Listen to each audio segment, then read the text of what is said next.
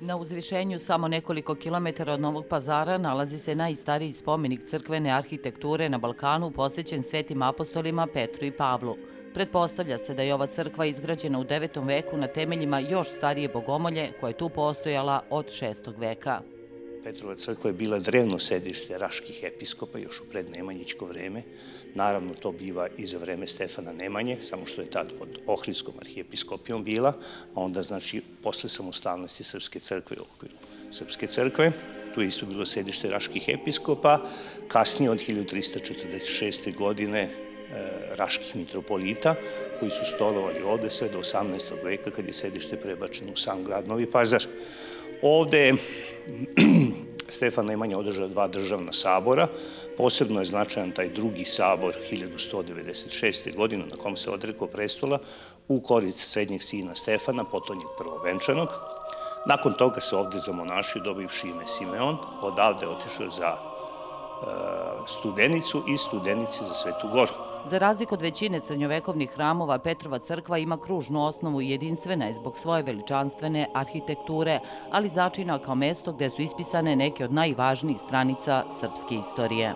Ovde imamo ostatke stare krstionice, u kojoj su između ostalog u srednjem veku kršteni i Nemanjini sinovi Vukan, Stefan i Rastko. Inače, Nemanja je ranije u detinstvu, kada je njegov otac Zavida pobegao iz starog Rašca, kršten u uzeti tamo, ali je primio latinsko krštenje tako da je ovde u Petrovoj crkvi samo miropomazan, jer to nije prošlo možda samo jedan vek od od onoga kako je, od raskola koji je bio 1054. godine, tako da e, i sad kad se neko krštava, priznaje se krštenje ako je kod rimokatolika kršten i onda se samo miropomaže. Tako da je on ovde miropomazan, a njegovi sinovi su ovde kršteni.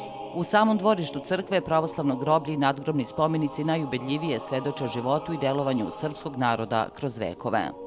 Tu su vršena na groblju sondažna arheološka istraživanja, pa je utvrđeno da se ispod nalazi starije groblje, znači ovo groblje iz 19. veka i možete onda u ovoj susednoj južnoj priprati videti e, stare nadgrobne spomenike koji su pronađeni prilikom arheoloških istraživanja. Ovde kad su bile istraživanja nađeni su spomenici iz 15. od 15. do 17. veka i nađeni neki zid za koji se smatra da je iz doba Nemanjića. Crkva ima četiri sloje živopisa iz različitih perioda, najmlađe i najočuvanije potiču iz 13. veka, dok najstariji sloj fresaka potiče iz druge polovine 9. veka.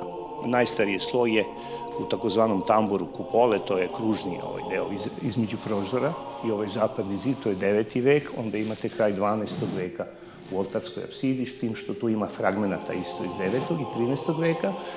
Druga polovina 13. veka je u centralnom delu crkve, a ovde u ovoj srednjoj priprati između ova dva luka je kraj 16. veka.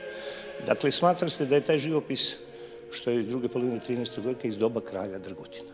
Sa ovih prostora potiču Nemanjići i ovde su postavljeni temelji ne samo srpske države, već i srpske pravoslavne crkve.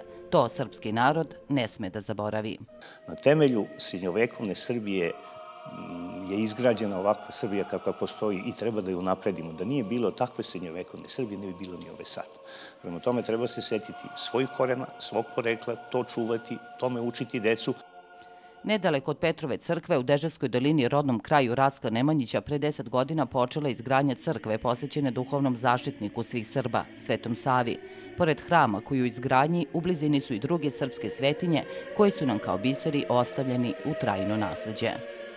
Takođe, odavde možemo, vidi se i manastir Đuđevi stupovi, takođe zadužbina Stefana Nemanje, nedaleko, na 14. km Novog pazara, nalazi se i manastir Sopoćani, manastir Crna reka, zaista mesta koja su, koje je potrebno svaki srpski, kažem, pravoslavni hrišćanin i vernik da vidi, da se upozna sa njihovom istorijom, da se upozna sa njihovim vrednostima i svim onim što oni predstavljaju za naš narod.